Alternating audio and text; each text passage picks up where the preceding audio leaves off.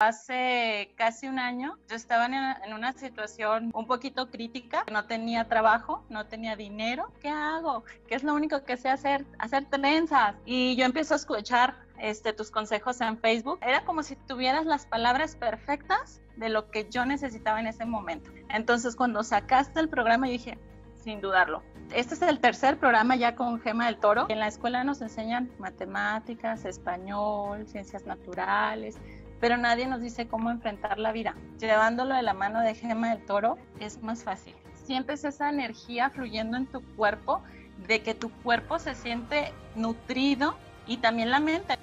Son palabras, son temas que llegan directo en el momento justo y, y cambian, cambian vidas. La mía la cambió.